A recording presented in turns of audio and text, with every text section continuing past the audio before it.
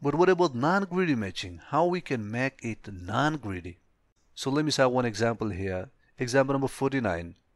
As usual, import the regular expression library where x equals to habit, colons, respect all races and religions. Where y equals regular expression that find of h with a cape dot plus colons, comma x to the of y, it will return this output. So we have only habit with colons in the output. This is my output. Look at here, we are talking about the non-greedy matching, non-greedy matching, how we can make a regular expression for a non-greedy matching. Now look, when you add the sign of interrogation, sign of interrogation after the plus, it makes this regular expression for a non-greedy matching, non-greedy matching. Now look at here, we have h with a cap, which is the beginning of the line, and then plus, which matches any character, and then plus, which shows from one or more occurrences, and then the sign of interrogation, which makes it non-greedy. And then the last thing is the colon. So we are going to start from the edge up to the first colon, up to the first colon. We won't go up to the second colon because if you remember in last example we had a regular expression with a greedy nature. But this time if you put the sign of interrogation, it will make it non-greedy. Therefore it will go up to only the first colons, not up to the second colons. Therefore when you take the point of y you will get habit, habit with colons.